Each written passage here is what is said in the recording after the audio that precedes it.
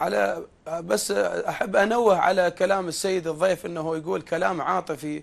اليوم الجمهور اللي انتخبنا هو آخر فرصة للثقة حتى يطرحها بالشخصيات البديلة الشخصيات الوطنية.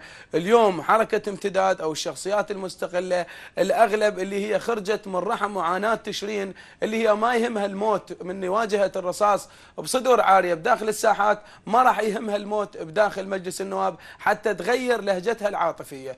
أما بالنسبة للوضع السياسي بالنسبة للاشتراك حركة امتداد واستقطاب بعض المستقلين هي لبناء كتلة معينة أو شراكة تحت اسم معين حتى يكون لهم صوت حقيقي بمجلس النواب.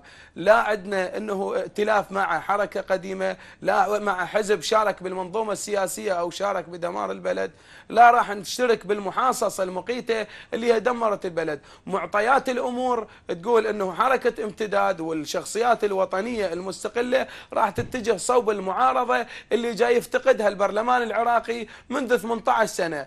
كل المعارضات السابقة هي كانت تقريبا شلون النوع من الابتزاز؟ يفتحون ملفات ويسدونها بمبالغ ابتزاز. فاليوم المواطن العراقي يحتاج مكاشفة يحتاج ما يدور بالغرف المظلمة يحتاج جلسات علنية يحتاج تشخيص خلل يحتاج كشف المؤامرة اللي الكهرباء كل سنة على نفس المعاناة. كشف مؤامرة الصناعة والمصانع المغلقة. كشف مؤامرة إساءة لهيبة الدولة. كشف مؤامرة الواقع الصحي المتردي. كشف معاناة الواقع التعليمي. وغيرها من الأمور. المواطن يريد يسمع صوته داخل قبة البرلمان. زين. فحركة امتداد أو كحميد الشبلاوي لو بقيت وحدي بداخل مجلس النواب ما راح أكون جزء من منظومة سياسية فاسدة ولا راح نحجم نفسنا. لكن الكل يعلم أنه المواطن العراقي أمل كبير. نعم. بهاي الشخصيات الوطنية راح ممكن إحنا نكون اللاعب الأقوى في تحديد شخصية سواء شخصية رئيس الوزراء كشخصية مستقلة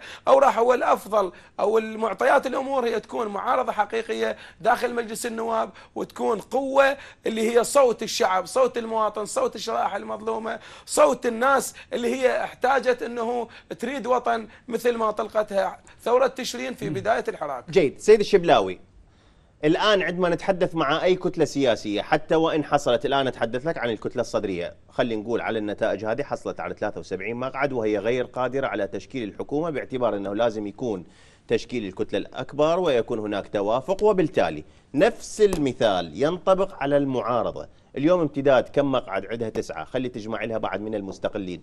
قادرة امتداد مع آه، الذين سيتحالفون معها من أن يكونوا معارضة حقيقية بوجه بقية السادة النواب والكتل السياسية اللي تلعب سياسة هنا.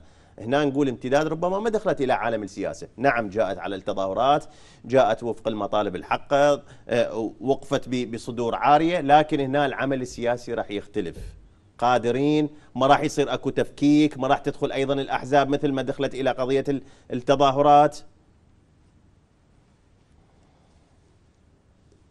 الكل يعرف أنه الشخصيات الوطنية ما كسبت ثقه الشارع إذا ما صارحته بكل جزئية، اليوم مصارحة الشارع بأنه شخصيات امتداد أو كشخصية حميد الشبلاوي على سبيل المثال أنه ما راح نائتلف مع أي جهة سياسية سابقة، ما راح نشترك بالمحاصصة، ما راح نكون جزء من المنظومة السياسية الفاسدة، ما راح نشترك بقتلة الشعب العراقي أو اللي سبب دمار هذا الشعب، إحنا راح نكون معارضة حقيقية والعمل على إنه تكون منصف للشعب العراقي موضوع الاشتراك مع الكتل السابقة سواء بتشكيل الحكومة هذا ربما يكون بعيد. أما هناك لا يخفى على الجميع إنه اتاحت الفرصة بالنسبة للفراغ السياسي أو الفراغ الدستوري أو غيرها من المسميات اللي ممكن تعجز الكتل السياسية عن تشكيل الحكومة ربما تكون فرصة لامتداد أو الشخصيات الوطنية بتشخيص رئاسة الوزراء بالاعتماد اليوم إحنا عندنا جمهور واضح. جمهورنا اللي هو داخل ساحات الاحتجاج أو كل الشعب العراقي اللي منحنا الثقة واللي هو مقتنع بأن الشعب العراقي شعب مظلوم شعب مدمر من كل المستويات. فأما راح يكون خصمنا يا أما راح يكون مساندنا. فإحنا ما راح نسمح لنفسنا بأن جمهورنا راح يكون خصم